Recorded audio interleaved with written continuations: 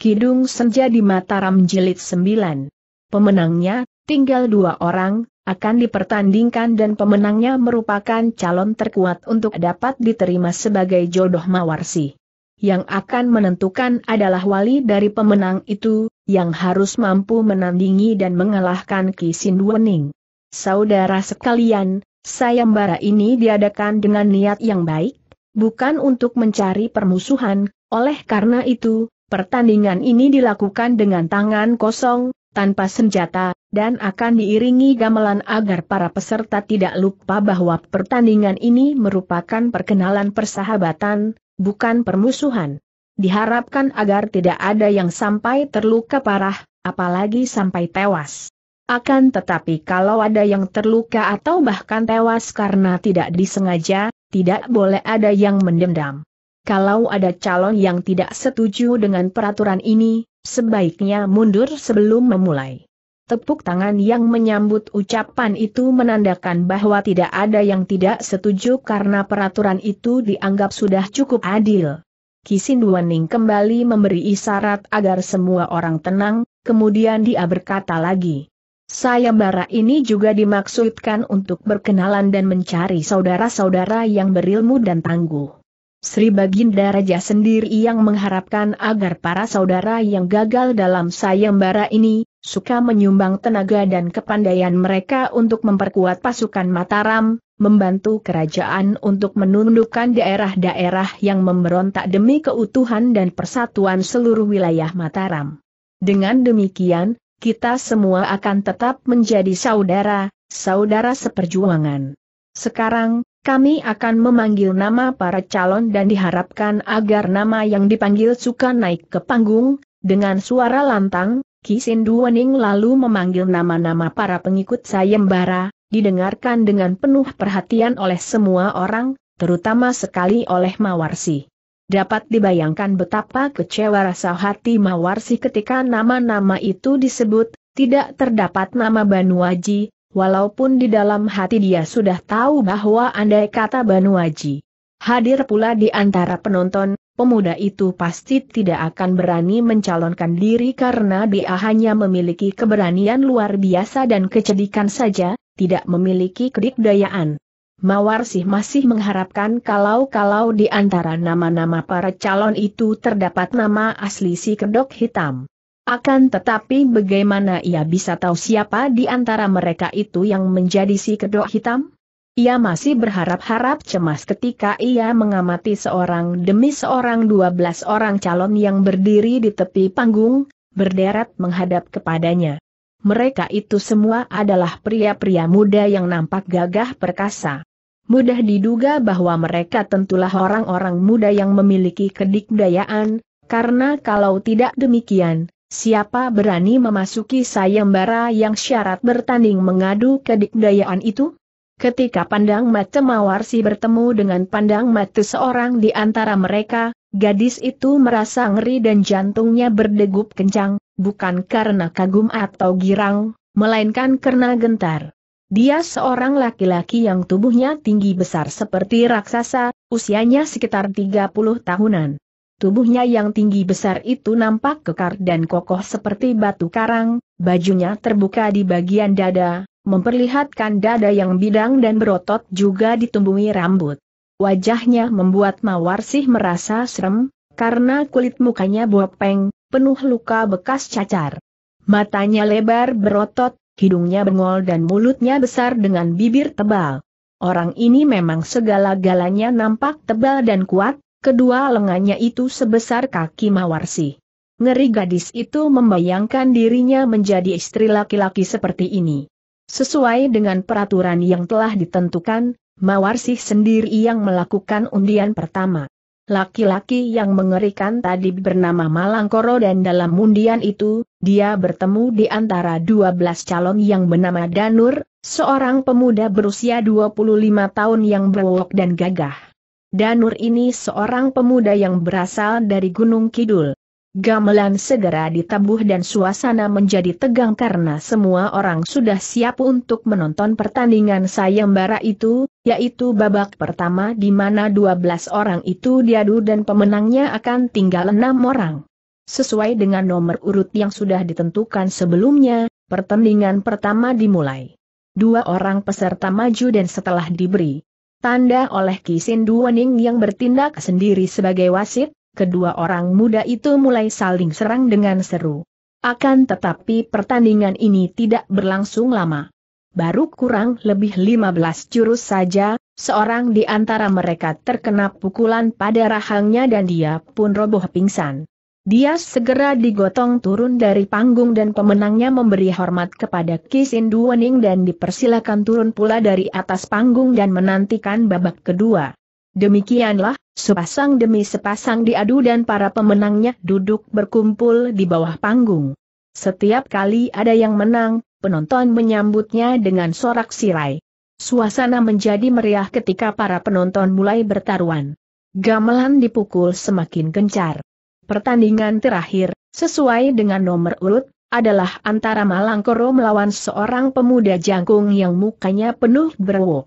Birapun pemuda jangkung itu nampak cukup kuat, namun dia agak gentar juga ketika berhadapan dengan raksasa itu di atas panggung. Gamelan dipukul gencar dan Malangkoro tertawa bergelak menghadapi lawannya. Hahaha. Lebih baik Andika mundur saja dan mengaku kalah, kawan, daripada kesakitan, kata Malangkoro. Hem, jangan sombong dulu, kawan kata si jangkung berwo. Siapa sombong? Kalau aku, Malangkoro, tidak mampu merobohkanmu dalam waktu sepuluh jurus, anggap saja aku kalah raksasa itu berkata lantang. Semua orang terkejut. Raksasa yang tidak mereka kenal itu sungguh sombong. Danur, pemuda berwok itu, adalah seorang prajurit yang sudah terkenal kekuatannya. Mungkin saja Malangkoro dapat memangkan pertandingan itu, akan tetapi kurang dari sepuluh jurus gila orang-orang mulai ramai bertaruh dan kebanyakan condong menjagoi Danur bahwa pemuda itu akan mampu bertahan sampai sepuluh jurus dan dianggap menang. Danur yang merasa dipandang rendah, segera memasang kuda-kuda dengan sikap gagah sekali.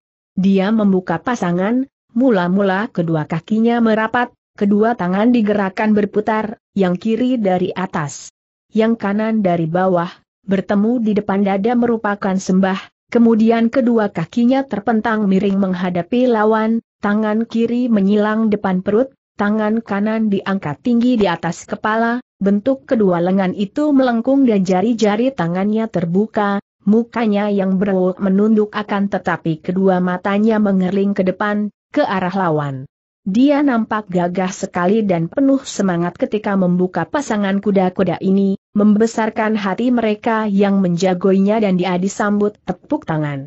Malangkoro hanya mengeluarkan suara hahihi, sama sekali tidak memasang kuda-kuda seperti lawannya, akan tetapi kedua tangannya tiba-tiba meluncur ke depan, dan jari-jari tangan yang panjang besar itu dibuka seperti hendak menangkap. Plak, Plak Danur menangkis dari samping ke arah kedua lengan Malangkoro, akan tetapi betapa kagetnya ketika dia merasa kedua lengannya yang menangkis itu terpental dan terasa nyeri, seolah yang ditangkisnya adalah pangganda baja. Dia maklum bahwa raksasa itu kuat sekali, maka dia harus mengandalkan kecepatannya. Hiaat dia mengeluarkan seruan nyaring dan kakinya sudah mencuat ke arah muka Malangkoro. Tendangan menyelang itu cepat dan kuat sekali, akan tetapi Malangkoro yang gerakannya lamban itu tidak mengelak, melainkan miringkan mukanya dan menerima tendangan itu dengan pundaknya. Duk bukan yang kena tendangan yang roboh, melainkan yang menendang terdorong ke belakang dan tentu akan terjengkang kalau saja Danur tidak cepat membuang diri ke samping dan bergulingan. Hahaha Malangkoro tertawa dan bertolak pinggang, membuka Bajunya bagian depan sehingga dada dan perutnya telanjang penuh rambut. Mawarsih yang sejak tadi menonton penuh perhatian, merasa gentar juga. Raksasa itu sungguh merupakan lawan yang tangguh, pikirnya. Danur meloncat bangun kembali, wajahnya agak merah karena dalam dua gebrakan atau dua jurus itu tadi, jelas bahwa raksasa itu berada di pihak unggul. Akan tetapi masih ada delapan jurus lagi, pikirnya. Kalau aku terus menyerang, tidak memberi kesempatan kepadanya membalas, tentu aku akan mampu bertahan sampai delapan jurus lagi dan menang. Setelah berpikir demikian, dia mempergunakan kesempatan selagi raksasa itu bertolak pinggang dan tertawa-tawa, cepat dia menerjang ke depan dan mengirim pukulan dengan kedua tangan bertubi-tubi ke arah dada dan perut Malangkoro. Sungguh menakjubkan. Malangkoro sama sekali tidak mengelak atau menangkis, melainkan membiarkan dada dan perutnya menjadi bulan-bulan pukulan kedua tangan Danur. Terdengar suara bak-bik-buk, akan tetapi setiap kali tangannya mengenai dada atau perut raksasa itu, Danur merasa seperti memukul benda dari karat saja, pukulannya membalik dan tangannya terpental sedangkan yang dipukul, jangankan roboh, berkedip pun tidak. Hahaha, boleh kau pilih, kawan. Sesukamu hendak memukul yang mana? depan atau belakang Malangkoro lalu membalikan tubuh membelakangi lawan dengan kedua tangan masih di pinggang. Tentu saja mereka yang menjagoi Malangkoro dalam taruhan, sudah tertawa-tawa gembira. Melihat lagak lawan, wajah Danur menjadi merah sekali dan dia pun kini mengerahkan seluruh tenaganya ke dalam tangan kanannya dan sambil mengeluarkan bentakan nyaring, tangan itu menghantam ke arah punggung yang lebar itu. Des hebat sekali hantaman itu dan terdengar suara krek-krek. Disusul terhuyungnya tubuh Danur yang memegangi tangan kanan dengan tangan kirinya. Agaknya tulang-tulang kecil dari tangannya patah-patah ketika bertemu dengan punggung yang oleh pemiliknya dibuat menjadi sekeras baja itu. Sambil tertawa, Malangkoro menggerakkan kakinya menendang dan tubuh Danur melayang ke bawah panggung. Dia kalah sebelum sepuluh jurus. Sorak-sorai menggegap gempita menyambut kemenangan Malangkoro yang memang amat mengagumkan itu. Mawarsih menyembunyikan kegelisahan hatinya ketika ia mewakili ayahnya membuat undian lagi untuk pertandingan babak kedua, antara enam orang pemenang itu. Dan diam-diam, lima orang pemenang yang lain mengharap agar mereka tidak bertemu dengan Malangkoro dalam babak kedua ini. Semua orang juga ngeri menyaksikan sepak terjang Malangkoro. Akan tetapi undian telah dilakukan dan yang menjadi lawan Malangkoro dalam babak kedua ini adalah seorang pemuda dari pegunungan Dieng yang bernama Panjalu. Pemuda ini bertubuh sedang dan wajahnya cukup tampan walaupun hidungnya agak pesek. Panjalu ini dalam babak pertama tadi juga dapat memenangkan pertandingan dengan mudah sehingga dia termasuk seorang pemuda gemblengan yang cukup didaya. Akan tetapi, wajahnya menjadi agak pucat dan pandang matanya liar ketika undian menyatakan bahwa lawannya dalam babak kedua adalah raksasa burik itu. Akan tetapi, urutan pertandingan baginya dalam babak kedua itu adalah yang terakhir, setelah dua pertandingan mendahuluinya. Pertandingan babak kedua memang lebih gayeng. Hal ini adalah karena yang bertanding adalah para pemenang babak pertama yaitu pemuda-pemuda yang memiliki kedikdayaan. Pertandingan pertama dan kedua berjalan seimbang dan ramai sekali sehingga setelah melalui pertandingan yang seru, muncullah kedua orang pemenangnya. Setelah itu barulah Malangkoro maju, dihadapi Panjalu dan seperti juga tadi, banyak orang condong menjagoi Malangkoro. Kisin Duoning yang memimpin pertandingan sebagai wasit sejak tadi juga mengamati dengan penuh perhatian seperti putrinya, karena peristiwa itu merupakan peristiwa teramat penting baginya, yaitu memilihkan calon suami untuk anak tunggalnya. Kalau sampai salah pilih, ngeri dia membayangkan kemungkinan ini. Kini, melihat sepak terjang Malangkoro, hatinya juga diliputi kekhawatiran apalagi dia tahu benar isi hati putrinya. Putrinya relah jatuh cinta kepada pemuda pemberani bernama Banuaji itu. Akan tetapi, dalam sayembara seperti ini, bagaimana mungkin Banuaji akan mampu mengikuti? Dan putrinya juga jatuh cinta atau kagum sekali kepada si kedok hitam, ksatria yang selalu menyembunyikan mukanya itu, akan tetapi yang jelas memiliki kedikdayaan hebat. Tentu puterinya mengharapkan kemunculan si kedok hitam, seperti harapannya pula. Akan tetapi, yang manakah di antara mereka ini si kedok hitam, kalau memang orang berahasia itu muncul? Yang jelas, si kedok hitam itu bukan Malangkoro, Karena bentuk tubuh si kedok hitam tidaklah sebesar Malangkoro dan hal ini setidaknya melegakan hatinya. Kini Malangkoro berhadapan dengan Panjalu. Panjalu tadi telah melihat betapa lawannya ini memiliki tubuh yang kebal. Oleh karena itu, dia pun tidak mau membuang tenaga dengan menyerang tubuh yang kebal itu.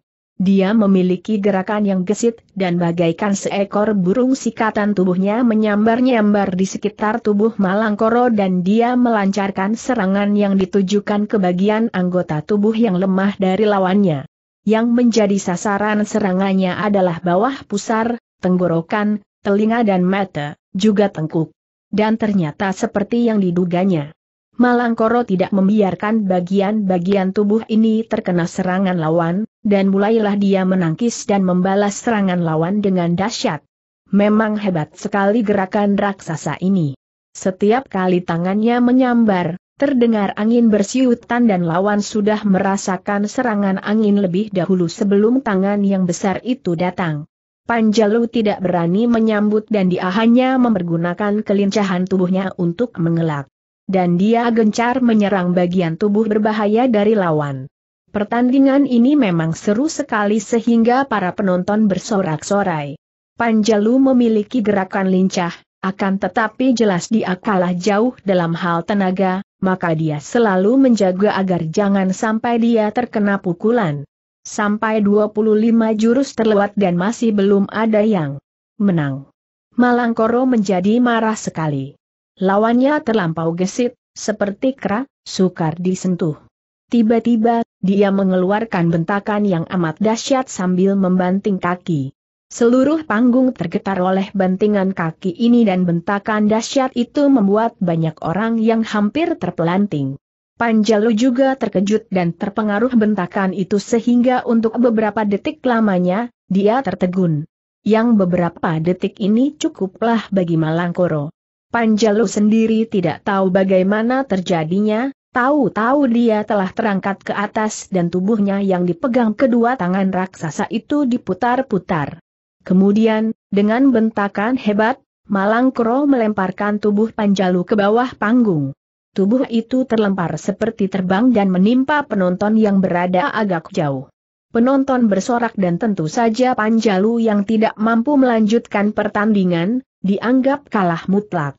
Kini jumlah pemenang tinggal tiga orang.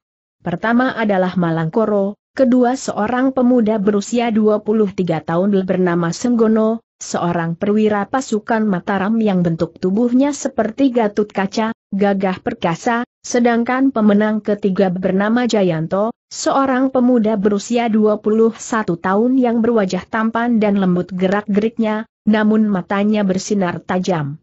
Ketika dengan jantung berdebar tegang Mawarsi hendak mengundi, siapa yang akan saling berhadapan dalam babak ketiga ini dan siapa pula yang akan menandingnya karena dia sendiri harus terjun di babak ketiga itu untuk melengkapi jumlah yang ganjil, Malangkoro dengan suara yang lantang berkata kepada Ki Sinduwening. Paman Sinduwening, untuk mempersingkat waktu dan menjaga agar dia Jeng Mawarsih tidak usah bertanding dua kali, maka saya bersedia untuk sekaligus menghadapi dua orang pemenang ini. Biar mereka maju berdua melawan saya. Tentu saja semua orang tertegun mendengar ucapan lantang ini. Betapa sombongnya Malangkoro. Menantang agar dikeroyok dua. Mendengar ucapan ini, Kisin Duoning mengerutkan alisnya dan menjawab dengan lantang pula. Peraturan sayembara telah ditentukan sebelumnya dan telah diumumkan, kalau hendak diadakan perubahan, maka hal itu harus disetujui oleh semua orang, yaitu pertama oleh yang mengadakan sayembara, dalam hal ini Mawarsih, kedua oleh para peserta, yaitu kedua orang anak mas ini, dan ketiga harus disetujui oleh penonton biarpun di dalam hatinya Ki Sinduaning tentu saja setuju dengan permintaan Malangkoro, namun sebagai seorang senopati yang tangguh perkasa dan adil, dia mengajukan syarat itu. Ha, ha, itu tidak adil sekali, Paman. Biar saya tanyakan sekarang juga kepada mereka yang bersangkutan. Dia Jeng Mawarsih, setujukah Handika dengan permintaan saya tadi untuk sekaligus menghadapi dan mengalahkan dua orang peserta pemenang babak kedua? Setelah saya menang, barulah diajeng maju menandingi saya. Mawarsih Juk bukan seorang bodoh. Sejak tadi ia merasa ngeri kalau-kalau Malangkoro yang akan keluar sebagai pemenang dalam pertandingan sayembara ini. Kalau Mayangkoro menandingi pengeroyokan dua orang muda itu, lebih banyak harapan raksasa itu akan kalah. Mendengar pertanyaan itu, tanpa ragu lagi ia pun mengangguk, aku setuju. Hahaha Malangkoro tertawa gembira lalu menghadapi dua orang pemuda itu. Bagaimana dengan kalian berdua? Berani dan setujukah kalian berdua maju bersama dan mengeroyok aku? Baik Senggono maupun Jayanto memang diam-diam merasa ngeri juga melawan Malangkoro satu lawan satu, kini mendapat kesempatan untuk maju berbareng menghadapi raksasa itu, tentu saja merasa lega. Aku setuju kata Senggono. Aku juga setuju kata pula Jayanto. Sambil tersenyum lebar Malangkoro menghadap Ki. Paman Sinduwening, dia Jeng Mawarsih telah setuju dan dua orang peserta itu pun telah setuju. Hem, masih belum ditanyakan kepada para penonton yang menjadi saksi pertandingan sayembara ini, kata Kisindu Wening yang kini berdiri di panggung lalu bertanya kepada penonton, kami minta pendapat para penonton yang menjadi saksi sayembara ini. Setujukah kalian dengan usul Malangkoro itu? Para penonton agaknya juga tidak rela kalau Mawarsih yang demikian cantik jelita akan terjatuh ke tangan seorang raksasa buruk dan kasar seperti Malangkoro. Juga mereka ingin menyaksikan pertandingan yang lebih seru, maka serentak mereka menyatakan persetujuan mereka sambil bersorak-sorai. Kisindu Wening mengangguk-angguk. Baiklah, katanya dengan lantang dan hatinya merasa lega. Karena semua pihak setuju, maka diadakan sedikit perubahan dalam babak ketiga ini. Malangkoro akan menghadapi dua orang lawan sekaligus, yaitu anak Mas Senggono dan Jayanto. Pemenang pertandingan ini barulah akan menghadapi kami ayah dan anak, satu lawan satu, para penonton bersorak gembira dan Kisin Duwening memberi isyarat kepada tiga orang yang hendak bertanding itu untuk maju ke panggung. Sambil tersenyum menyeringai sombong, Malang Koro kini berdiri menghadapi dua orang pemuda itu. Bagaikan seorang raksasa pemuda gagah itu. Bagaikan seorang raksasa berhadapan dengan Sang Gatut Kaca dan saudara sepupunya, Sang Abimayu. Gamelan segera ditabuh dengan irama keras dan panas, karena para penabuh juga merasa gembira dan penuh semangat menghadapi pertandingan yang tentu akan seru sekali itu. Malangkoro dengan sikap yang congkak sekali, berdiri bertolak pinggang dan membusungkan dadanya yang lebar menghadapi dua orang pemuda yang juga sudah siap dan memasang kuda-kuda masing-masing. Senggono yang seperti gatut kaca itu membuka gerakan silatnya dengan pasangan yang tegap dan gagah, kedua lengannya dikembangkan, tubuh agak membungkuk seperti seekor burung garuda yang hendak terbang dan mengembangkan sayapnya. Sedangkan Jayanto yang seperti Abimayu itu membuka pasangan kuda-kuda dengan kedua lengan bersilang, yang kiri di depan dada, yang kanan di depan pusar, jari-jari tangannya terbuka. Hehehe, majulah, seranglah. Apakah kalian takut Malangkoro mengejek? Ternyata raksasa itu bukan hanya dikdaya dan kuat, akan tetapi juga cerdik. Menghadapi pengeroyokan dua orang lawan, Sebaiknya kalau mereka itu bergerak lebih dulu karena dalam keadaan tidak menyerang, dia akan dapat melindungi dirinya lebih baik. Setelah nanti melihat dia akan dapat membuat serangan sesuai dengan perkembangan gerakan kedua orang lawan itu.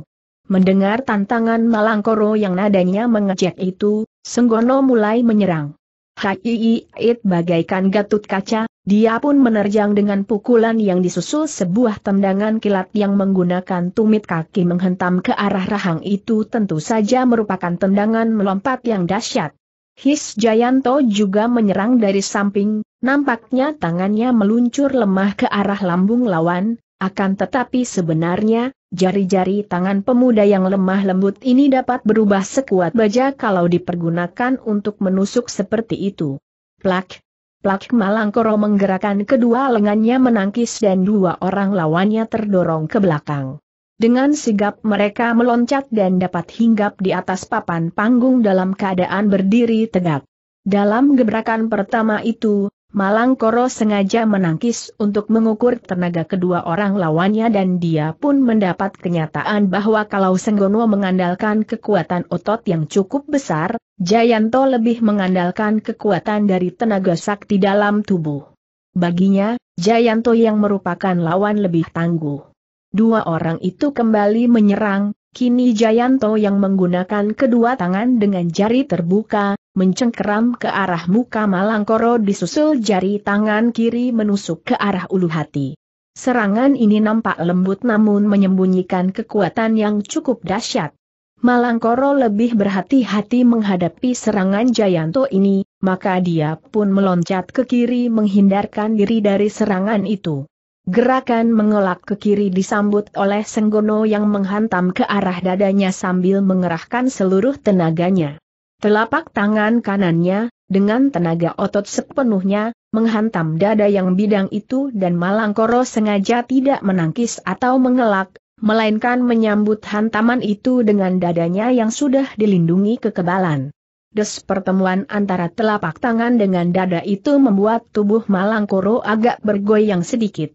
Akan tetapi sebaliknya, Senggono terdorong ke belakang sampai terhuyung dan dia menyeringai, merasa betapa lengan kanannya seperti lumpuh ketika tenaga pukulannya membalik dan menghantam dirinya sendiri. Pada saat itu, Jayanto sudah menyerang lagi dari samping, tangannya mencengkeram ke arah leher Malangkoro. Malangkoro miringkan tubuh mengelak, akan tetapi karena hantaman tangan Senggono tadi membuat tubuhnya bergoyang, gerakannya kurang cepat dan cengkeraman tangan Jayanto masih mengenai pundaknya. Berat baju di bagian pundak itu robek, berikut sedikit kulitnya sehingga berdarah. Kekebalan Malangkoro dapat ditembus jari-jari tangan Jayanto yang mengandung kekuatan sakti. Malangkoro terbelalak, mukanya berubah kemerahan, matanya seperti mengeluarkan api dan dan dia pun menggereng seperti harimau terluka. Kemudian, seperti seekor gajah mengamuk, dia menerjang ke arah kedua orang lawannya. Kedua lengan dan kedua kakinya yang panjang dan besar lagi kuat itu menyambar-nyambar. Dia mengamuk dan segera nampak bahwa dua orang lawannya itu masih belum mampu mengimbangi kehebatan Malangkoro. Mereka berdua berusaha untuk mengelak dan menangkis, akan tetapi setiap kali tangkisan mengena tubuh mereka yang terdorong sampai hampir jatuh. Luka di pundaknya tidak membuat Malangkoro menjadi lemah. Luka itu terlalu kecil dan tidak ada artinya baginya, hanya luka kulit dan bahkan membuat dia marah sekali. Dua orang pengeroyok itu berusaha mempergunakan kegesitan mereka untuk menghindarkan diri, namun karena memang mereka sudah terdesak hebat, akhirnya Senggono yang lebih dahulu terkena tendangan kaki Malangkoro sehingga tubuhnya terlempar ke bawah panggung, menimpa para penonton. Melihat Senggono sudah kalah, Jayanto menjadi nekat. Dia menggunakan kecepatan gerakan tubuhnya melakukan penyerangan bertubi-tubi, yakin bahwa jari-jari tangannya akan mampu menembus kekebalan kulit Malangkoro. Akan tetapi, setelah kini tidak dikeroyok lagi, tentu saja Jayanto bukan merupakan lawan yang terlalu berat bagi Malangkoro. Semua serangan Jayanto dapat ditangkisnya, bahkan ketika Jayanto agak lengah karena lengannya terasa ngilu beradu dengan lengan Malangkoro, tiba-tiba saja tamparan tangan kiri Malangkoro yang besar dan berat mengenai pundaknya. Keras bukan main tamparan itu, membuat Jayanto terpelanting dan sebelum dia mampu bangkit, sebuah tendangan mengenai punggungnya dan tubuh pemuda ini pun terlempar ke bawah panggung. Kembali tepuk sorak penonton menyambut kemenangan Malangkoro. Semua orang merasa kagum dan jerih terhadap raksasa yang ternyata memang hebat itu. Kisinduaning diam-diam merasa khawatir sekali terhadap putrinya, akan tetapi dia juga girang mendapatkan seorang yang memiliki kedikdayaan seperti Malangkoro. Kalau dijadikan seorang senopati, tentu Malangkoro akan berguna sekali bagi Mataram. Sambil tersenyum, Malangkoro yang kini melepaskan bajunya yang robek sehingga nampak tubuh bagian atas yang kokoh dan penuh dengan otot benjol-benjol melingkar pada pundak, punggung, dada dan lengannya, menghadap Ki Sinduening. Bagaimana, Paman? Apakah sekarang saya diperbolehkan memasuki babak selanjutnya, yaitu bertanding melawan di ajang Mawarsi atau Paman sendiri ucapan itu tidak bernada mengejek atau menantang, walaupun ada sikap memandang ringan. Anak Mas Malangkoro. Tidak adil kalau kami mengharuskan Andika melawan kami sekarang. Andika sudah bertanding sebanyak tiga babak, maka biarlah sekarang Andika beristirahat dulu. Matahari telah naik tinggi dan kita semua perlu makan siang. Sayembara ini dilanjutkan dengan babak penentuan, yaitu pemenang babak ketiga harus dapat mengalahkan Mawarsih dan aku sendiri. Besok, setelah matahari naik sampai ke atas atap rumah itu, kita lanjutkan sayembara ini di sini. Malangkoro tersenyum dan pertandingan itu pun dihentikan sampai di situ. Para penonton pulang dan para peserta juga meninggalkan tempat itu setelah mereka berjanji kepada Kisin Duwening bahwa besok mereka akan datang, bukan hanya untuk mengetahui kelanjutan mendaftarkan diri sebagai prajurit seperti yang dilanjurkan Kisin Duwening pada pembukaan sayembara itu. Dengan wajah muram Kisin Duwening mendekati puterinya yang rebah menelungkup di atas pembaringan sambil menahan isak tangisnya. Sejak sayembara ditunda sampai besok, gadis itu memasuki kamarnya, tidak mau keluar lagi dan tidak mau makan. Kisin Duaning duduk di tepi pembaringan, mengelus rambut yang terurai lepas dari sanggulnya itu. Anakku Mawarsih, hentikan tangismu. Tidak ada gunanya menangis dan kiraku, saat ini bukan waktunya untuk berduka. Besok engkau menghadapi ujian berat, menghadapi pertandingan berat, haruslah menghimpun tenaga dan engkau harus makan. Tidak semestinya seorang gadis seperti engkau menjadi cengeng dan putus asa. Mendengar ucapan ayahnya itu, Mawarsih mengusap air matanya, lalu bangkit duduk. Kedua matanya agak membengkak kemerahan dan kedua pipinya agak pucat, matanya redup dan muram. Namun ia telah berhasil menghentikan tangisnya. Aku memang bersikap bodoh, Bapak. Akan tetapi betapa hati ini tidak akan hancur, betapa pikiran ini tidak akan kacau kalau kita melihat hasil dari sayembara kita. Kedua orang yang kuharap-harapkan tidak muncul, bahkan yang muncul dan menjagoi pertandingan adalah Malangkoro. Air, Bapak, anakmu ini lebih baik memilih mati daripada harus berjodoh dengan raksasa yang buruk rupa dan buruk sikap itu. Baru melihatnya saja, rasanya kedua kakiku sudah menggigil, gadis itu bergidik ngeri membayangkan ia harus bersanding sebagai istri raksasa itu. Mawar, di mana ketawa kalanu kepada Gusti Allah? Dia maha kuasa, Mawar. Kalau kita menyerah kepada kekuasaan Gusti dengan penuh kepasrahan, apalagi yang patut ditakuti? Kita akan berdaya semampu kita, dan dengan dasar penyerahan kepada Gusti Allah, maka kita akan memenuhi tugas dalam kehidupan ini. Jangan putus asa, anakku, karena keputusasaan hanya merupakan tanda bahwa iman kepercayaan kita kepada Gusti mulai menipis. Semua kehendak Allah terjadilah. Dan hanya dia yang maha mengetahui, tahu apa yang terbaik untuk kita. Jangan lepaskan ikhtiar, dan jangan lepaskan penyerahan kita angger. Mawarsih sadar dan ia merangkul bapaknya. Bapak, terima kasih dan maafkan kelemahanku tadi. Aku hanya merasa penasaran mengapa kedua orang itu tidak datang. Apakah, apakah, mereka itu sama sekali tidak menaruh perhatian kepadaku? Inilah sebabnya mengapa aku mengumumkan agar sayembara diundurkan sampai besok pagi, kata Ki Sindwening. Berita tentang pertandingan hari ini tentu akan disebarluaskan para penonton dan tentu akan terdengar oleh seorang di antara mereka. Aku khawatir bahwa mereka tidak ada yang muncul karena tidak mendengar tentang adanya sayembara ini. Begitukah, Bapak? Mudah-mudahan begitu, sambungnya cepat dan dalam suaranya terkandung harapan. Akan tetapi, bagaimana andai kata besok Mawarsih juga melihat ini dan ia menyentuh lengan ayahnya lalu memberi isyarat dengan pandang matanya ke arah kakek itu. Kisin Duaning juga menengok dan ia melihat apa yang dilakukan dan yang gurita, dia pun segera bersila dan bersedekap, memejamkan matanya dan tanpa diketahui orang lain kecuali Mawarsih, terjadilah pertandingan kedua yang tidak nampak match antara Kisinduwening dan Danyang Gurita. Kisinduwening, dengan kekuatan batinnya yang bersandar kepada kekuasaan Tuhan, sedang menentang dan menangkis serangan Danyang Gurita berupa angin keras yang membantu muridnya menyerang kedok hitam. Pertandingan antara si kedok hitam dan Malangkoro memang hebat bukan main. Kini keduanya sudah benar-benar bertanding, mempergunakan kegesitan, keterampilan dan terutama kekuatan. Pukulan demi pukulan ditangkis dan terdengar suara berdetak nyaring kalau kedua lengan bertemu.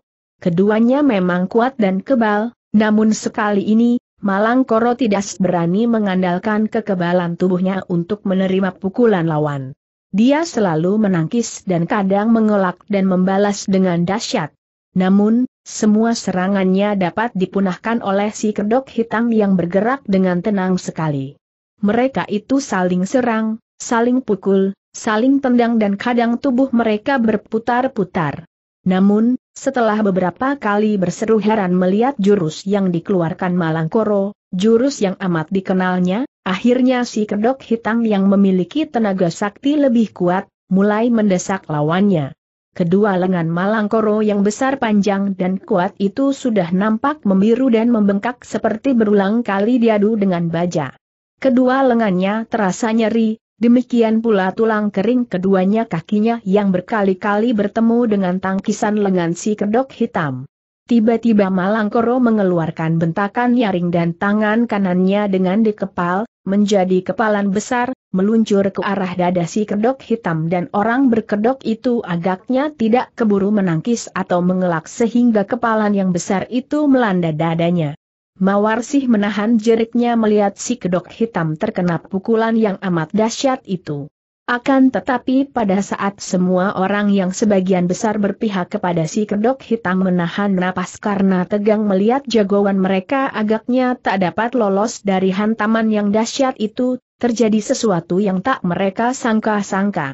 Des pukulan itu memang dengan hebatnya melanda dada si kedok hitam, akan tetapi Malangkoro mengeluarkan teriakan kaget karena merasa seolah kepalan tangannya masuk ke dalam benda yang lunak sehingga tenaganya lenyap dan sebelum dia tahu apa yang terjadi, lengan kanannya sudah ditangkap pada pergelangan tangannya dan sekali si kedok hitam membentak, lengan itu sudah ditekuk ke belakang punggungnya. Dia terperosok berlutut, namun sebuah tendangan mengenai punggungnya membuat dia roboh menelungkup. Si kedok hitam menggunakan kaki kanan menginjak pinggang Malangkoro sedangkan lengan raksasa itu ditelikungnya ke belakang, ke punggung. Malangkoro tidak mampu berkutik lagi.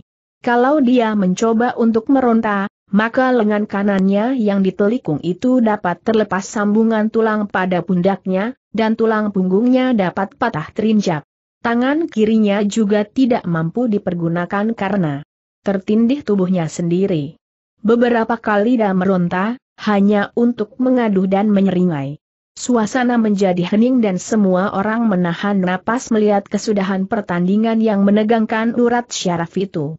Malangkoro, apakah engkau belum mau mengaku kalah terdengar si kedok hitam bertanya, suaranya lantang. Malangkoro mengangguk-angguk. Kisanak, aku mengaku kalah. Andika Sakti Mandraguna, aku menyerah kalah. Kalau begitu, engkau harus menepati janjimu, mendaftarkan diri menjadi prajurit. Baik, aku Malangkoro tidak biasa melanggar janji. Aku laki-laki sejati jawab Malangkoro, bukan karena takut melainkan karena tersinggung bahwa dia dikhawatirkan tidak akan memegang janjinya. Si kedok hitam melepaskan tangan dan kakinya, kemudian menghadap Ki Siduaning dan berkata dengan suara yang penuh hormat namun juga mengandung teguran.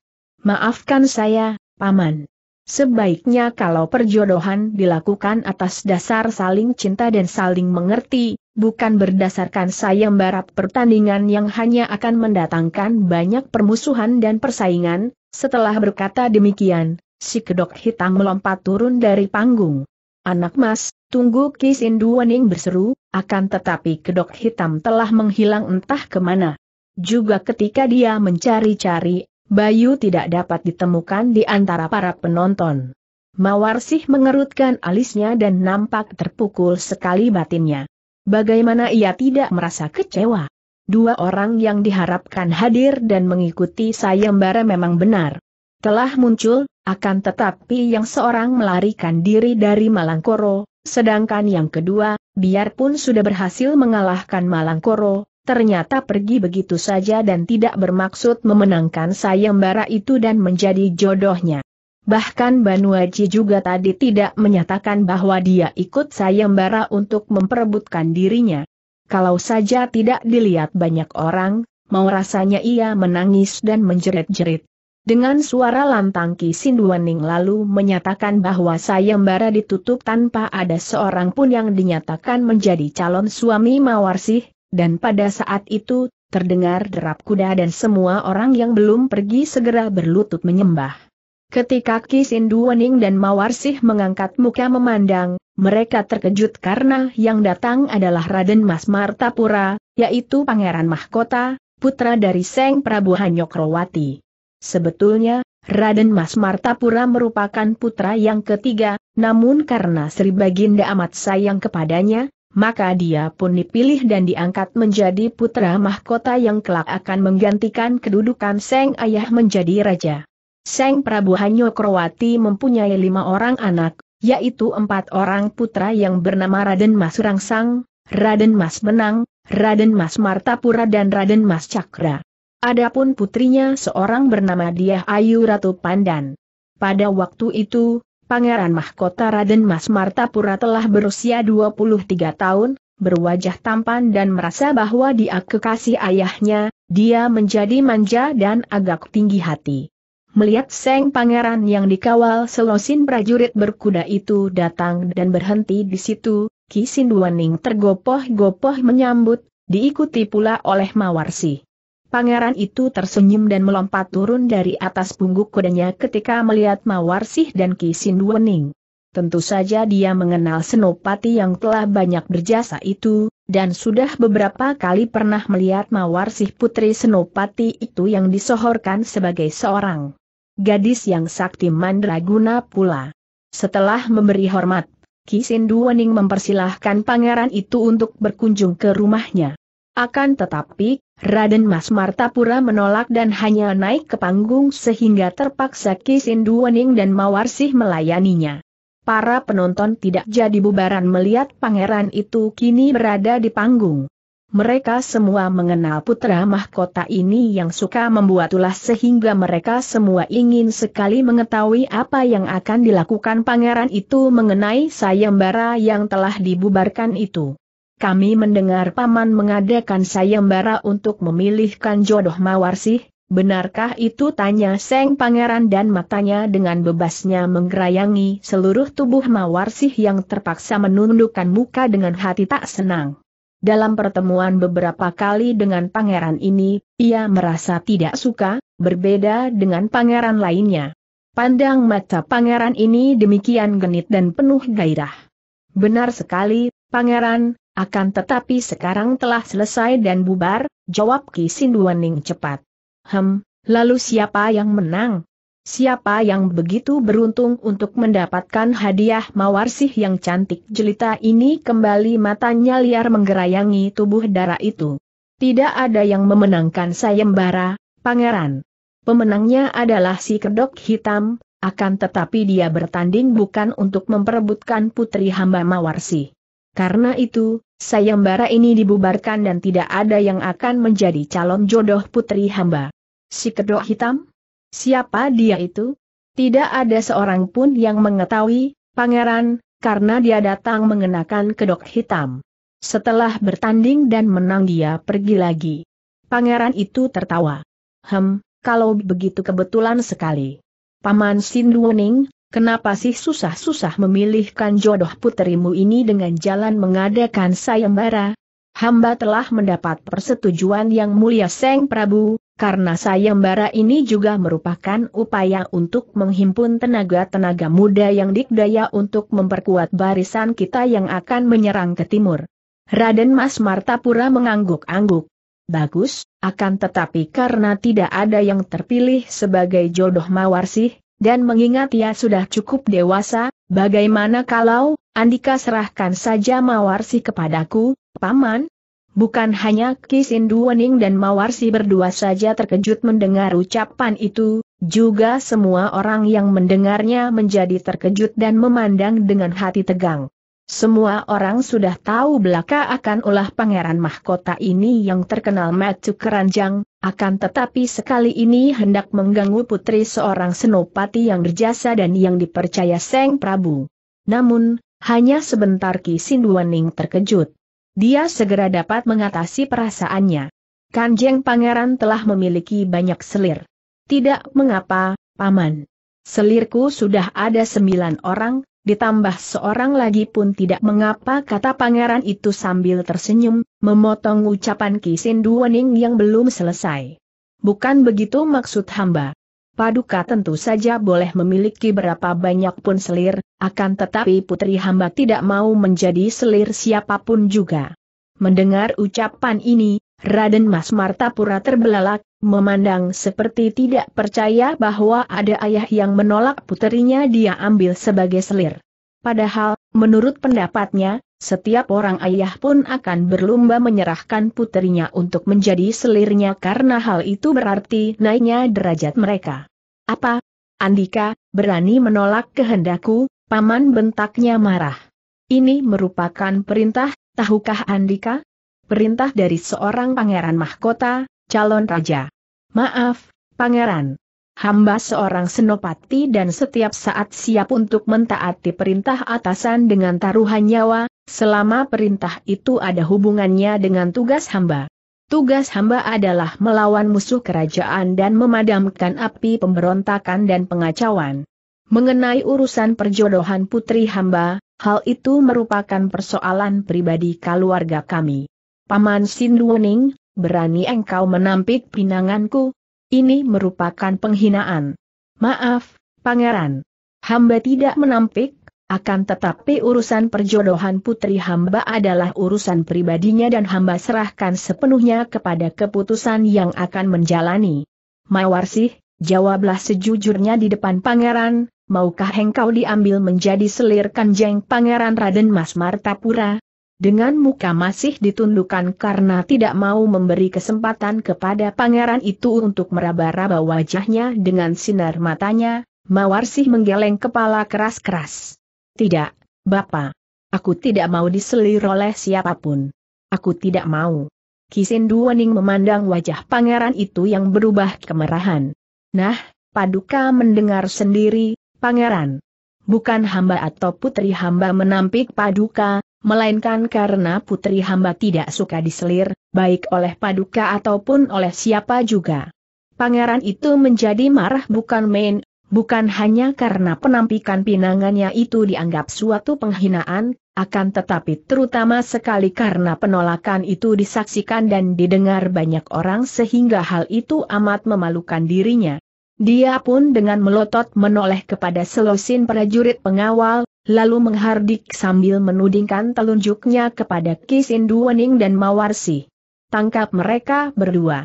Dua belas orang prajurit pengawal yang bertugas menjaga keselamatan pangeran mahkota itu sudah turun dari atas punggung kuda mereka pula, akan tetapi kini mereka saling pandang seperti orang-orang bodoh dan kehilangan akal.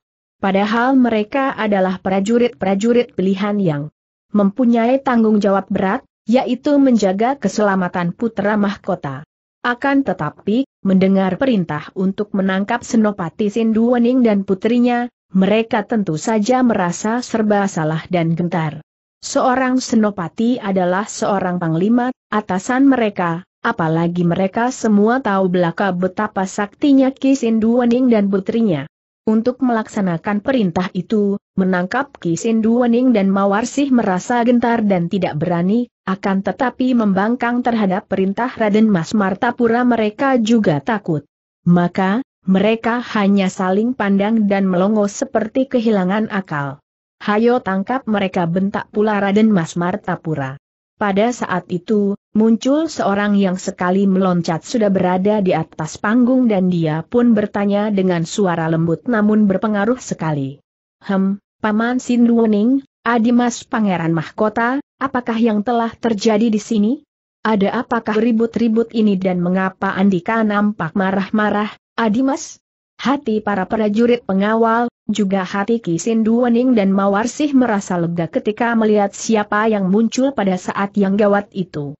Dia seorang pemuda berusia 27 tahun, tinggi tegap, berwajah tampan dan anggun, sikapnya agung dan berwibawa.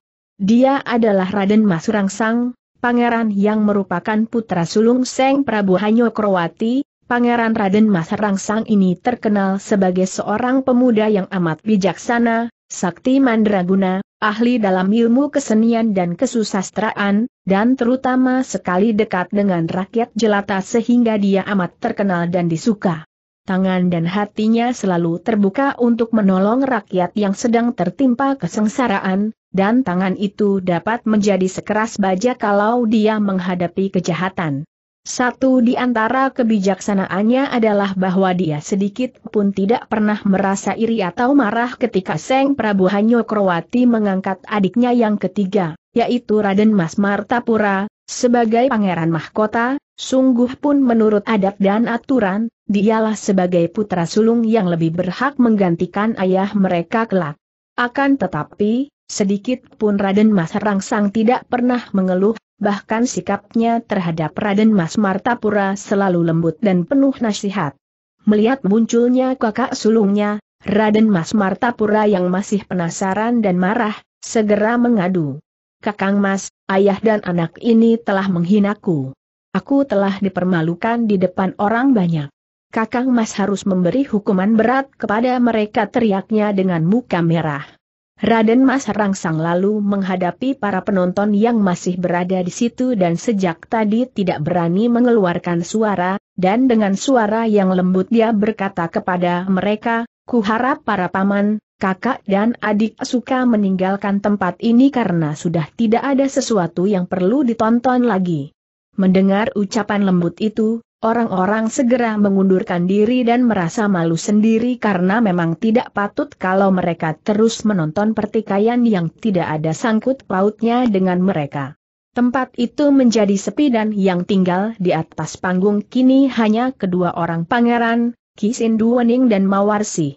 Akan tetapi Kisin Duwening yang tahu akan kewajiban, segera meneriaki para peserta sayembara agar sore hari nanti mereka datang kepadanya untuk diterima sebagai prajurit. Para peserta itu menyanggupi dan mereka pun segera mengundurkan diri. Hanya selosin prajurit pengawal itu saja yang masih tinggal di bawah panggung, akan tetapi mereka hanya menundukkan muka, tidak berani memandang ke atas panggung karena maklum bahwa majikan mereka, putra mahkota, sedang merah kepada mereka yang tadi tidak menaati perintah untuk menangkap ayah dan anak itu. Nah, sekarang ceritakanlah. Adimas Pangeran, apa sesungguhnya yang telah terjadi sehingga Andika menjadi marah-marah dan mengatakan bahwa Paman Sinduwening dan Diajeng Mawarsih ini telah menghinamu dan mempermalukanmu di depan orang banyak. Coba saja Kakang Mas pertimbangkan sendiri, siapa orangnya yang tidak merasa terhina. Aku mendengar bahwa Kisinduaning mengadakan saya sayembara untuk memilih suami bagi putrinya.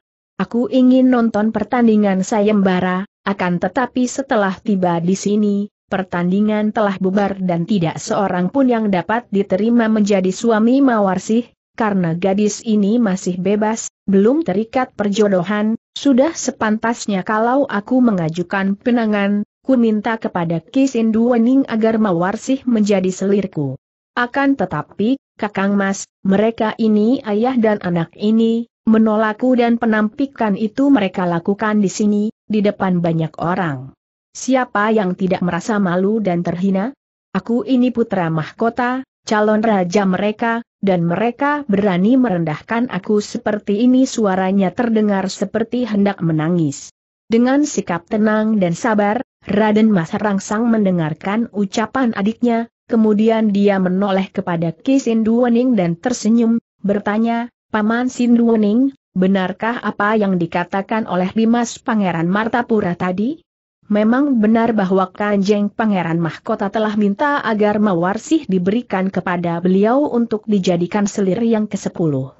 Karena beliau mengajukan pinangan di sini, disaksikan banyak orang, maka ketika hamba menjawab, hamba lakukan di sini pula.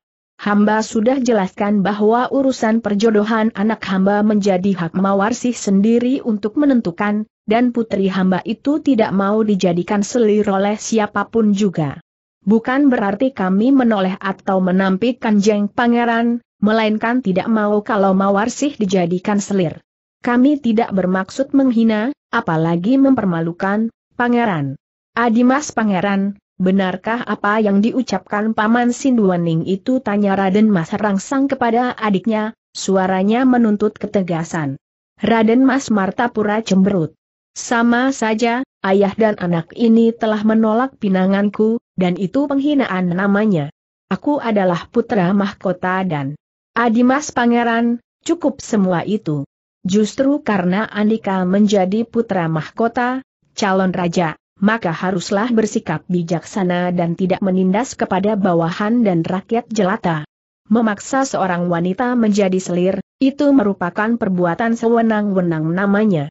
Apakah Adimas Pangeran ingin mencontoh perbuatan Rahwana Raja yang hendak memaksa Dewi Sinta menjadi istrinya? Adimas mengajukan pinangan di tempat umum, mendapat jawaban di tempat umum pula, Hal ini sudah sepantasnya.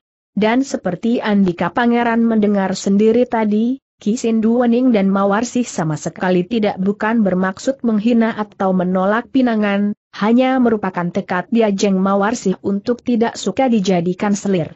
Diajeng Mawarsih, jawablah, apa jawabanmu kalau sekarang ini aku meminangmu untuk menjadi selirku? Kedua pipi Mawarsi berubah kemerahan mendengar pinangan aneh dari Raden Mas Rangsang ini. Mohon paduka mengampuni hamba, pangeran. Hamba hanya akan menikah dengan pria idaman hati hamba, dan menjadi istrinya, bukan menjadi selirnya.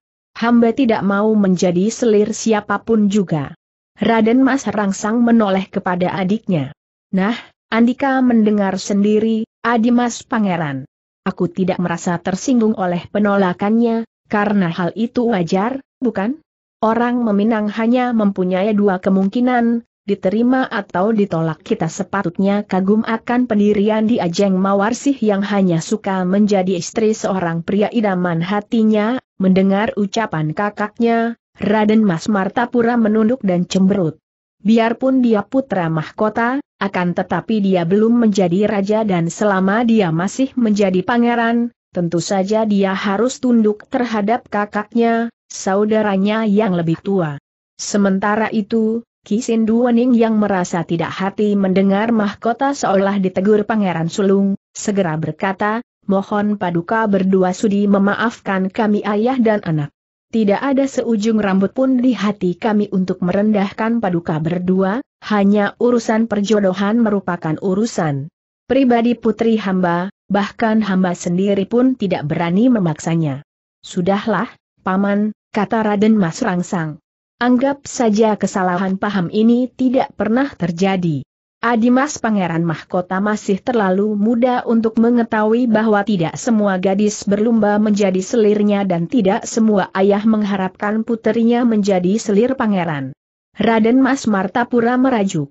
Sudahlah sudah, katakan saja aku tidak boleh berbuat sesuka hatiku. Kakang Mas Rangsang, aku pergi dulu tanpa menoleh lagi dia menuruni panggung dan meloncat ke atas punggung kudanya dan segera pergi, diikuti oleh selosin pengawalnya. Raden Mas Rangsang menarik napas panjang dan menggeleng kepalanya. Hem, Sampai kapankah dia akan menjadi dewasa lalu dia menghadap Kisindu Wening dan berkata, Paman, maafkan kalau aku terpaksa menegurmu, Paman. Memang sudah menjadi hak kalian untuk mengadakan sayembara, apalagi kalau tahu bahwa sayembara itu juga dimanfaatkan untuk mengumpulkan tenaga orang-orang dikdaya untuk memperkuat pasukan Mataram dan sudah pula mendapat restu Kanjeng Rama. Akan tetapi, Paman, dalam keadaan gawat seperti sekarang ini, pada saat Mataram sedang berusaha untuk menundukkan daerah timur yang memberontak, sudah tepatkah kalau Paman sebagai seorang senopati Mataram mendahulukan urusan pribadi yang sifatnya sukaria? Maaf, Paman, aku hanya mengingatkan, bukan menyalahkan atau menegur. Mendapatkan peringatan dari pangeran yang mereka kenal sebagai seorang bijaksana itu, Sin Duoning dan Mawarsih tertegun. Dan bagaikan baru terbuka mati mereka akan sikap Banuaji dan juga si kedok hitam. Itukah sebabnya mengapa mereka itu biarpun menentang Malangkoro namun tidak ikut menjadi peserta yang memperebutkan Mawarsih? Ah, sekarang kami menyadari kekeliruan kami, Raden Mas Rangsang. Terima kasih atas peringatan Paduka dan memang apa yang Paduka katakan itu sungguh benar dan tepat. Kami akan menunda usaha memilih mantu ini dan akan lebih dahulu menghimpun tenaga dan melaksanakan tugas menyerbu ke Ponorogo pada waktu yang telah ditentukan Seng Prabu. Raden Mas Rangsang mengangguk. Memang siogianya demikian, Paman. Aku mendengar tentang kedikdayaan Malangkoro, karena itu sepatutnya kalau dia diberi kedudukan yang cukup penting dalam pasukan kita, juga para peserta sayembara yang lain dapat diberi kedudukan yang sesuai dengan tingkat kemampuan mereka.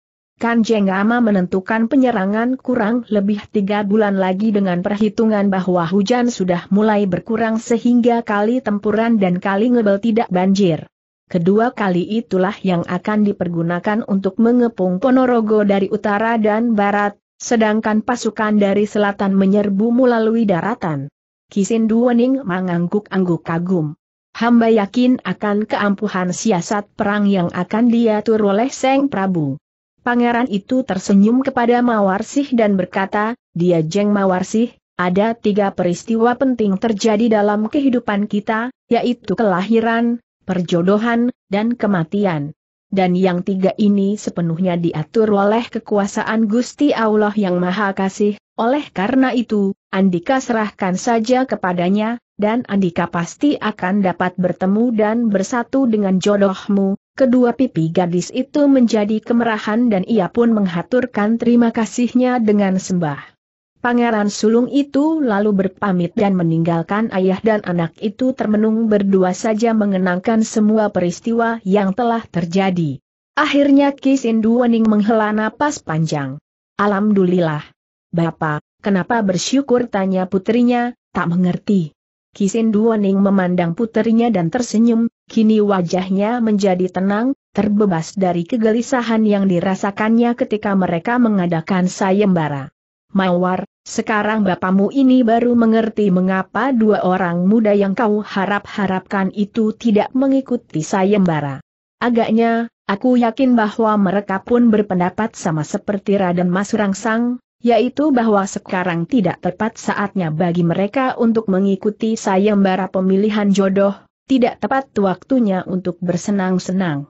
Benarkah itu, Bapak? Kiranya tidak banyak orang yang memiliki kebijaksanaan seperti Kanjeng Pangeran itu.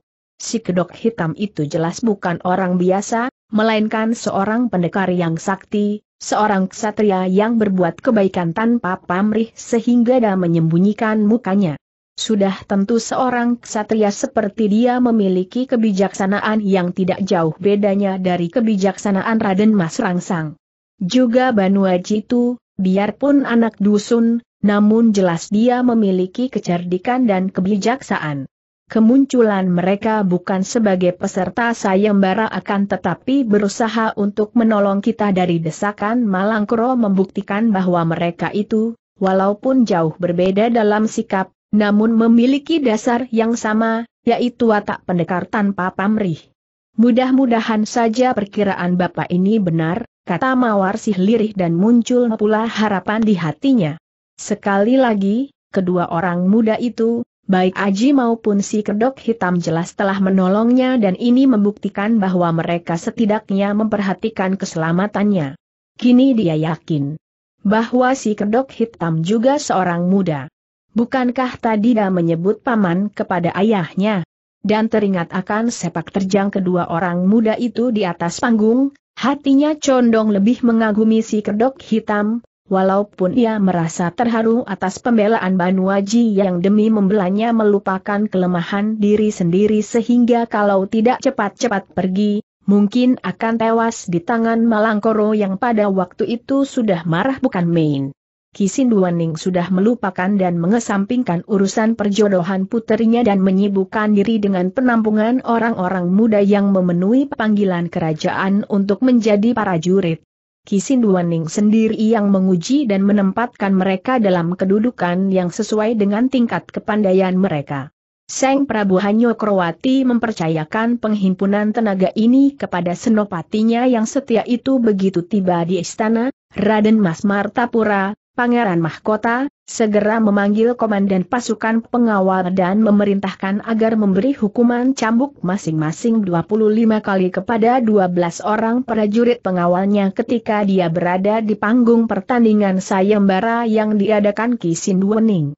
Dengan alasan bahwa selosin prajurit pengawal itu membangkang perintahnya, tidak mau menangkap Ki Sinduwening dan Mawarsih, dia menyuruh hukum mereka dan minta agar padanya diberi regu pengawal yang baru.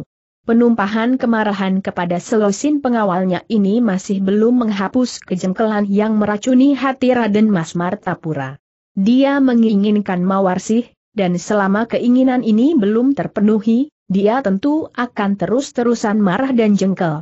Sembilan orang selirnya yang muda-muda dan cantik tidak dapat menghibur hatinya. Sebagai putra Seng Prabu Hanyo Krowati, tentu saja Raden Mas Martapura juga bukan seorang pria yang lemah. Biarpun dia tidak menguasai aji kedikdayaan seperti para saudaranya, terutama Raden Mas Rangsang, namun dia memiliki satu kelebihan, yaitu ilmu sihir atau sulap.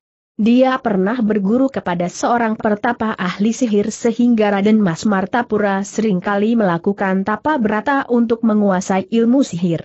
Seringkali dia memamerkan ilmunya itu kepada para penghuni istana, hanya untuk mencari pujian dan membanggakan diri. Sore hari itu, dengan wajah murung dan pandang mata muram, dia berjalan-jalan di taman sari istana. Maksudnya untuk menghibur dirinya, dan dia melarang pengawal mendekatinya. Dia berjalan-jalan seorang diri dan ketika dia berada di dekat dinding pemisah antara Taman Sari dan Kaputren di mana tinggal para selir dan dayang dari Seng Prabu Hanyo Krowati, dia mendengar suara tembang.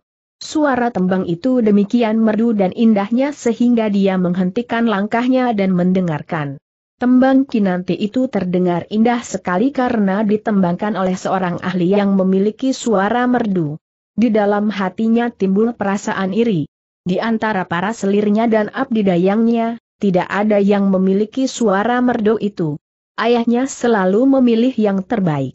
Bahkan selir-selir ayahnya juga cantik-cantik, lebih menarik daripada selir-selirnya sendiri.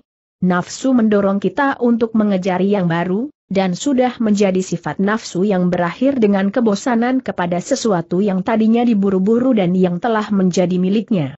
Karena pengaruh nafsu inilah maka kita selalu lebih menghargai milik orang lain daripada milik kita sendiri. Milik orang lain, baik itu berwujud benda, binatang, tumbuh-tumbuhan, atau manusia sekalipun, akan selalu nampak lebih menarik daripada yang kita miliki. Bunga mawar di taman orang lain nampak lebih cantik semerbak harum dibandingkan bunga mawar di taman sendiri. Demikian pula dengan Raden Mas Martapura yang sejak muda sekali, karena selalu dimanja, menjadi hamba nafsu yang selalu mengejar kesenangan dan kenikmatan. Biarpun sembilan orang selirnya itu cantik-cantik, namun dia merasa bosan dan dia membayangkan bahwa selir-selir muda ayahnya jauh lebih cantik menarik. Tiba-tiba wajah yang murung itu kini berseri, mulut yang cemberut itu mengembangkan senyum dan mata yang muram kini berseri, lalu dia mengepal tangan kanannya. Hem, kenapa tidak? Daripada bersusah hati, lebih baik dia menghibur diri di dalam kaputren tempat para selir ayahnya.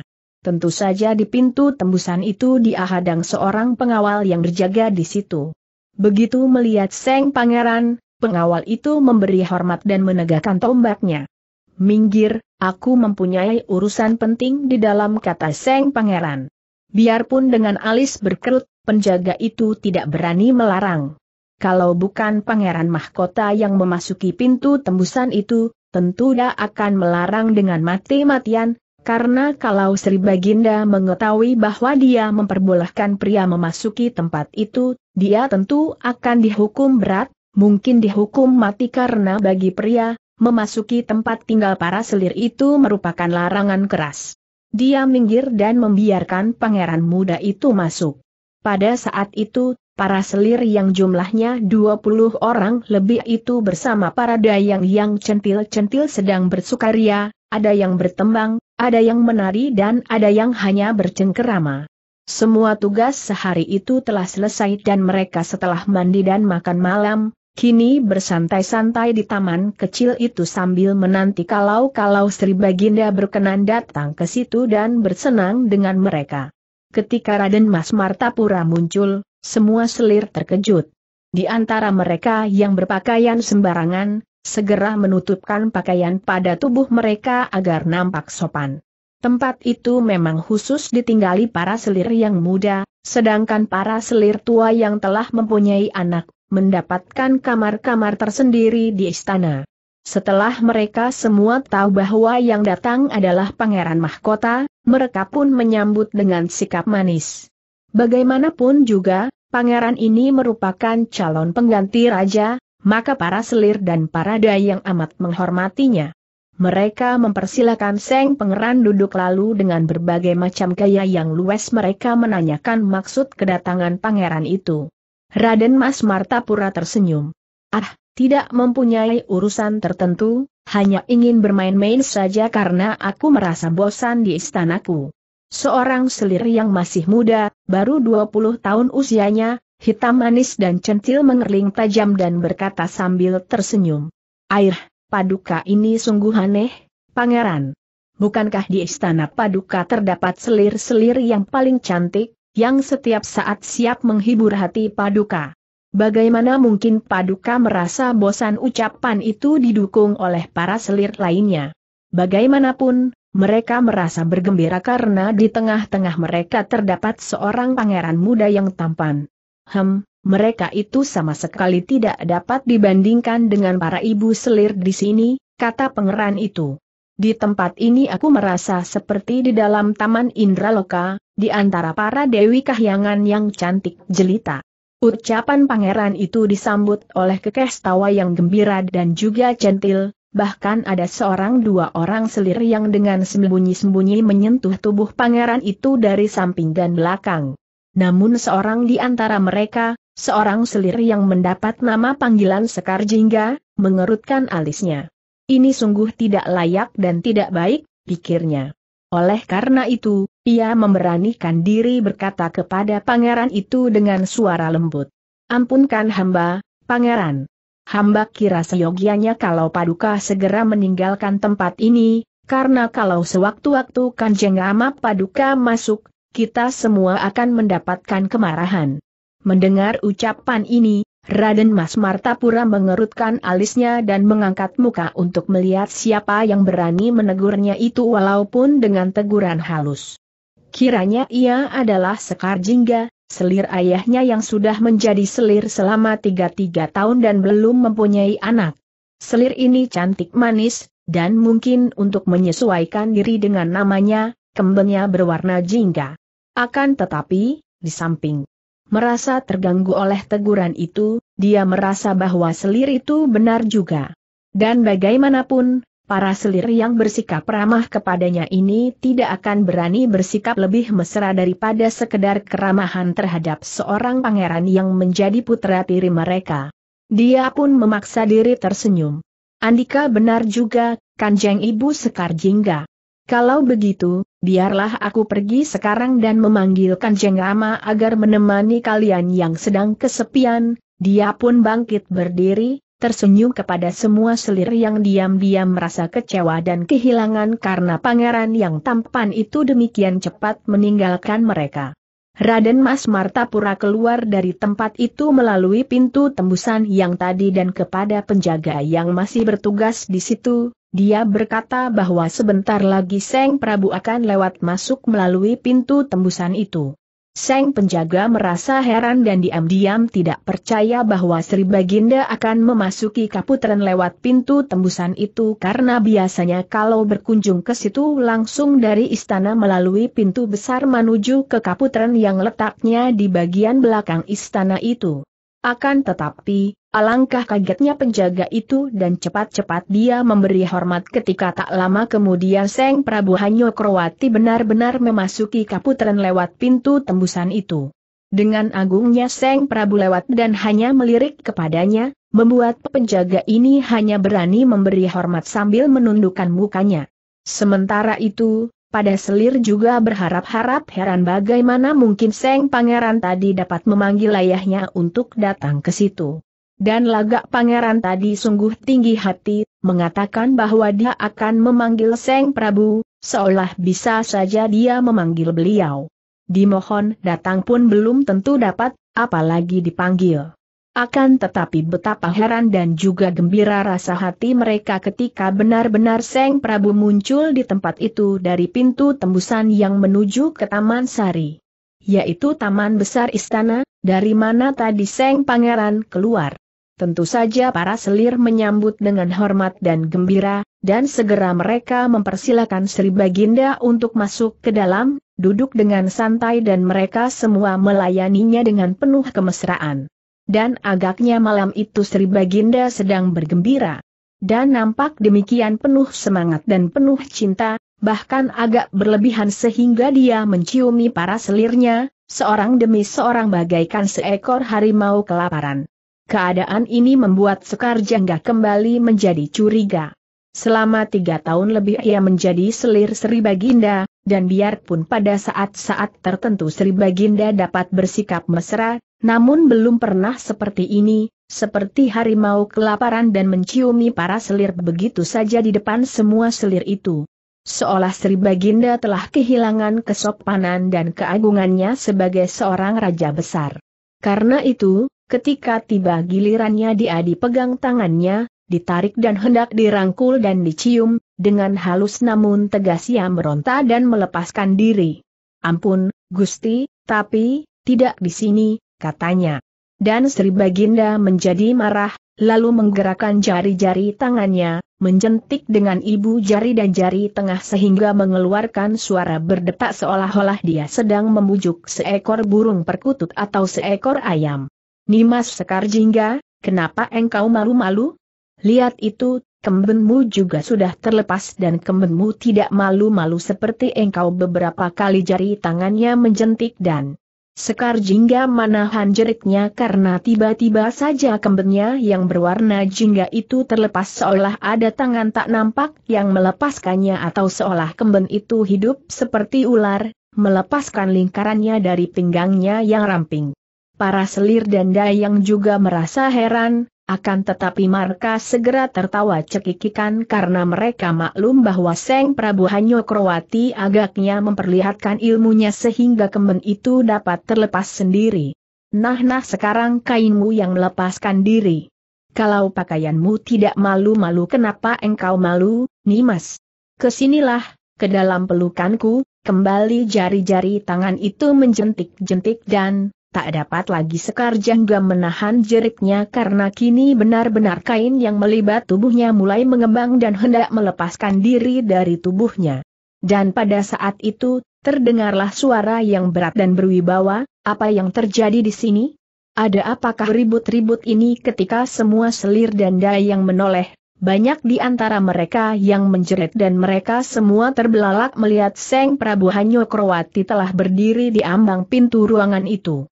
Ketika mereka semua kini menoleh kepada Sri Baginda yang tadi mereka layani dan yang mengajak mereka bercumbu, mereka semua menjadi pucat dan cepat mereka menjatuhkan diri berlutut menghadap Seng Prabu, karena yang tadi mereka anggap sebagai Sri Baginda bukan lain adalah Raden Mas Martapura. Pengaruh sihir atas diri selir Sekar Jingga juga pudar dan selir ini cepat membetulkan kain dan kembennya, lalu menjatuhkan diri berlutut menyembah Sri Baginda sambil menangis. Kanjeng Rama, hamba hanya ingin bermain-main di sini, Raden Mas Martapura tergagap dan dia pun cepat turun dari tempat duduknya, menyembah dan wajahnya menjadi agak pucat. Kalau pangeran lain yang tertangkap basah menodai tempat selir seperti itu, pasti Seng Prabu Hanyo Krowati akan marah besar dan mungkin menghukumnya dengan berat, bahkan bisa saja membunuhnya karena perbuatan itu sungguh merupakan aib bagi keluarganya. Akan tetapi, dia terlalu menyayang Raden Mas Martapura, maka dalam kekecewaan, penyesalan, kedukaan dan kemarahannya, terlontar ucapan yang langsung keluar dari lubuk batinnya. Martapura, apakah Hengka sudah gila? Perbuatanmu ini seperti perbuatan orang gila saja. Hening sesaat setelah Seng Prabu Hanyokrowati mengeluarkan ucapan itu, kemudian nampak pangeran itu berkata dengan suara gemetar, ampunkan hamba, Kanjeng Rama, dan terdengar isak tangisnya. Akan tetapi hanya sebentar karena kini pangeran itu berkata lagi, Kanjeng Rama, hamba ingin bersenang-senang saja, dan dia pun tertawa-tawa. Astagfirullahalazim Seng Prabu hanya Krowati mohon ampun kepada Gusti Allah dan dia pun menyadari apa yang telah terjadi. Dalam kemarahannya tadi, dia telah mengeluarkan kata-kata kutukan dan kini putranya itu benar-benar telah menjadi gila. Ucapan seorang ayah atau ibu mengandung kekuatan yang amat hebat, apalagi keluar dari hati seorang raja besar yang telah mendapatkan wahyu dari Gusti Allah untuk menjadi pemimpin rakyat. Namun, sekali mengeluarkan ucapan tidak mungkin dapat ditarik kembali dan raja itu hanya dapat memandang putranya dengan hati yang seperti ditusuk-tusuk rasanya. Raden Mas Martapura memang bersikap aneh. Dia mengangkat muka, memandang ke sekeliling, tertawa hahaha, lalu menyembah ke arah Seng Prabu Hanyokrowati. Kanjeng Rama, hamba mohon diri, dan dia pun bangkit dan berjalan pergi melalui pintu tembusan diikuti oleh pandang matu Seng ayah yang kini baru menyadari bahwa dia telah meracuni putranya sendiri dengan limpahan kasih sayang yang hanya merusak kepribadian putranya itu sehingga menjadi manja, tinggi hati dan batinnya lemah. Ya Allah, Gusti Maha Agung, segala kehendakmu terjadilah, dia meratap di dalam hatinya. Kemudian dia berkata dengan suara lembut kepada para selirnya, kalian semua harus mandi keramas, kemudian berpuasa selama tiga hari, baru boleh memperlihatkan diri kepadaku, para seli sambil menangis menaati perintah itu dan Seng Prabu Hanyokrowati lalu kembali ke istana. Peristiwa yang nampaknya sepele ini ternyata kemudian mengubah jalannya sejarah seperti yang telah diatur oleh Seng Prabu Hanyokrowati. Biarpun Raden Mas Martapura sudah diangkat menjadi pangeran mahkota dan ditentukan bahwa dia yang kelak menggantikan ayahnya menjadi raja di Mataram, akan tetapi karena pikirannya tidak waras lagi, karena dia telah menjadi seorang yang lebih sering bersikap seperti orang gila, tentu saja tidak mungkin mendudukan dia sebagai raja dan kelak, sebagaimana tercatat dalam sejarah, yang menggantikan Seng Prabu Hanyokrowati bukanlah Raden Mas Martapura, melainkan Raden Mas Rangsang, pengeran sulung yang kelak akan menjadi seorang raja yang amat terkenal, bahkan lebih besar daripada ayahnya, yaitu Sultan Agung Senopati Ing Alaga Saidin Panatagama dengan julukan Seng Prabu Pandita Anyakrakusuma. Dalam peristiwa ini kembali terbukti akan kebesaran dan keagungan kekuasaan Tuhan. Betapapun pandainya manusia, betapapun pintarnya manusia mengatur dan merencanakan sesuatu, namun akhirnya kekuasaan Tuhan yang akan menentukan segalanya, sungguh pun semua akibat itu bukan tanpa sebab dan sebabnya terletak dalam sepak terjang si manusia sendiri dalam hidupnya.